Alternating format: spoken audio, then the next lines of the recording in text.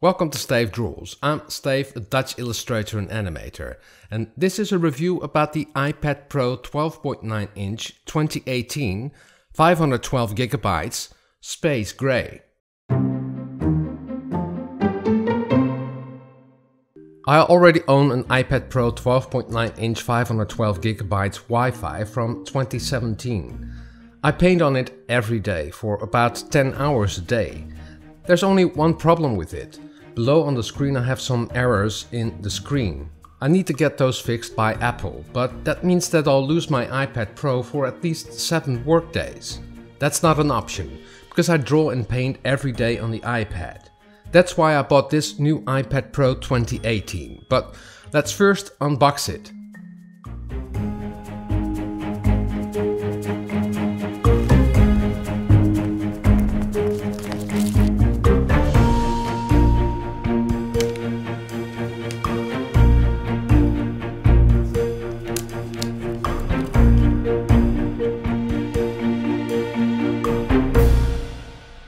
These are the specs of the iPad Pro 12.9 inch.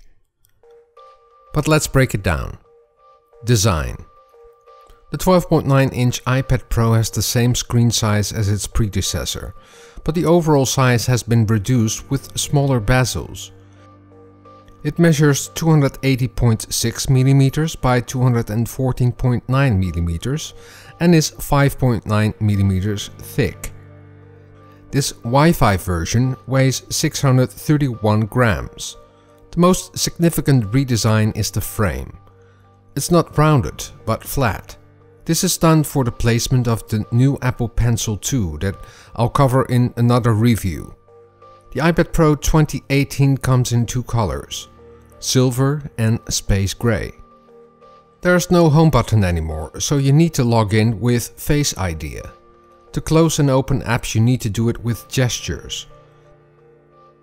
There's no headphone jack anymore. You can use your AirPods or use an USB-C headphone. You now charge your iPad Pro with USB-C.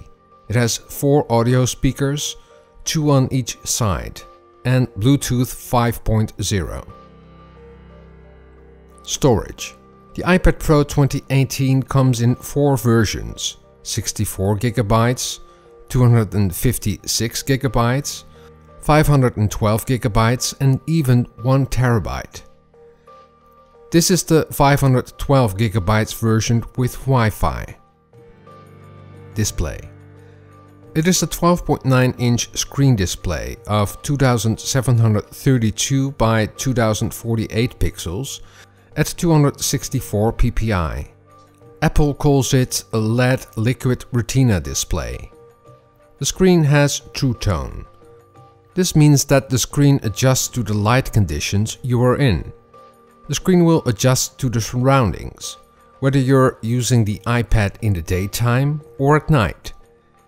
ProMotion is the refresh rate of your screen. A standard display has a 60Hz refresh rate the iPad Pro 120Hz refresh rate. This higher refresh rate is easier on your eyes, and you can see that when you scroll through pages in Safari. The screen now has round corners. Camera. The iPad Pro has a 12 megapixels rear-facing camera. You can record videos in 4K at 60 frames per second and in slow motion in 720p at 240 frames per second. The front-facing camera is hard to find, it's hidden in the small bezel.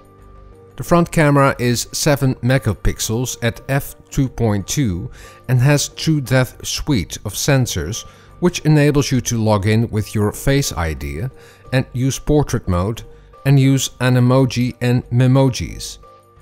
Performance chipset. The iPad Pro 2018 has an A12X Bionic processor. That's the same processor that is in the iPhone X, but an even faster one. The A12X chipset has 8 CPU cores, so it can support up to 8 threads without having to resort to time slicing the processing time. Price The iPad Pro 2018 are more expensive than last year. Let's take a look at the Wi-Fi models.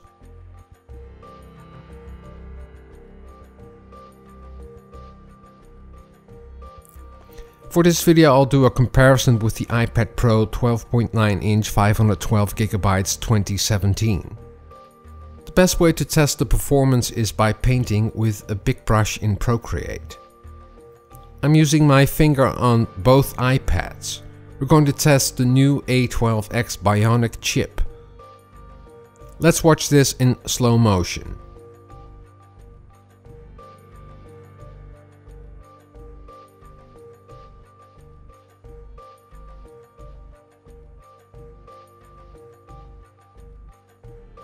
The iPad Pro 2018 is faster in its performance, but it's only noticeable when you record it in slow motion at 240 frames per second.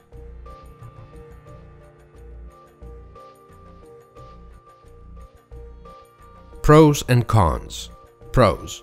The iPad Pro 12.9 inch 2018 has a faster processor, smaller bezels, you can stick the Apple Pencil 2 on top of your iPad and charge it. You can now connect a 5K screen through your USB-C connector. You can connect USB card readers and thumb drives. Cons. When you draw on the iPad Pro and want to hold the iPad, the bezels are too small. You easily will smudge your painting when you're in a painting app. When you want to close an app you have to use the swipe up gesture. When you're in a drawing app, you'll probably ruin your painting. The old Apple Pencil is not compatible with this iPad Pro. You need to buy the Apple Pencil 2. You have to buy new connectors and earphones for the USB-C connector. You cannot backup or upload work files to the iPad Pro 2018. Only videos and photos. Overall this new iPad Pro 2018 has a better performance than the 2017 version. But if you already have the iPad Pro from 2017, I wouldn't recommend buying the 2018 version. There are just too many cons. Apple sold this iPad with the promise that it would replace your computer. But there are just too many things you cannot do on the iPad. You're still working in iOS. You cannot open zip files or you need an external app for that. You cannot upload work files, only photos and videos. And external hard drives are not supported. However, if you want to upgrade from an iPad to an iPad Pro or want to start out with an iPad Pro, this will be the best iPad Pro so far. In the next video I'll do a review about the Apple Pencil 2. I hope you enjoyed this video and if you like it please give it a thumbs up or subscribe to my channel if you haven't already. And don't forget to hit that notification bell, because each time I upload a new video, you get a notification. Drawing is fun and practice makes perfect. See you next time. Doodles!